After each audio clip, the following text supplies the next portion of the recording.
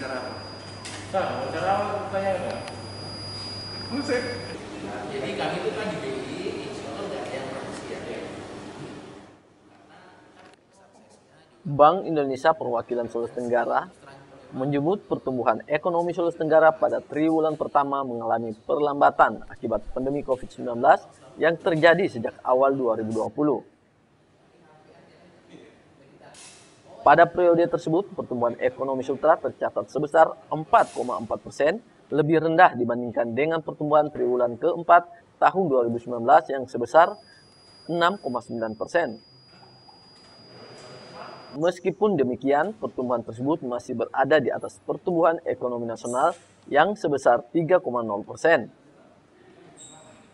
Kepala Bank Indonesia Sultra, Suharman Tabrani menjelaskan secara sektoral perlambatan pertumbuhan ekonomi Sultra disebabkan oleh terjadinya perlambatan pada empat lapangan usaha utama, yaitu sektor pertambangan, industri pengolahan, konstruksi, dan perdagangan.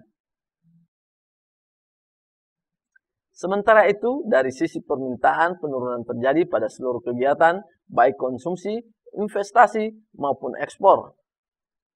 2020 terjadi penurunan, perlambatan menjadi 4,4 persen. Setelah sebelumnya di triwulan 4 2019 bertumbuh sekitar 6,9 persen.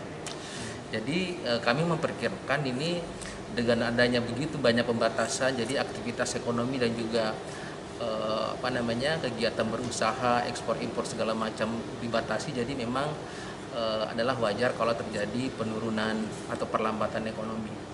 Nah untuk triwulan kedua ini eh, kami juga memperkirakan bahwa masih akan terjadi perlambatan ya dibandingkan dengan eh, triwulan sebelumnya karena memang kondisi sekarang kita lihat ini kan belum normal sehingga nanti eh, secara keseluruhan eh, keseluruhan tahun 2020 kami memperkirakan eh, ekonomi Sutra eh, 2020 akan berada di sekitar dua setengah persen sampai tiga setengah persen.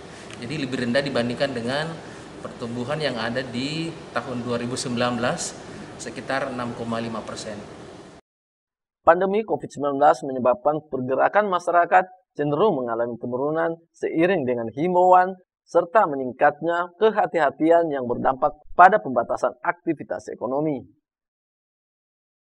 Bank Indonesia Sultra memprediksi kondisi serupa diperkirakan masih akan terjadi pada bulan triwulan 2 tahun 2020 sebab pergerakan masyarakat di beberapa area seperti area rekreasi dan area perbelanjaan masih sangat terbatas dan menjadi indikasi terbatasnya aktivitas perekonomian.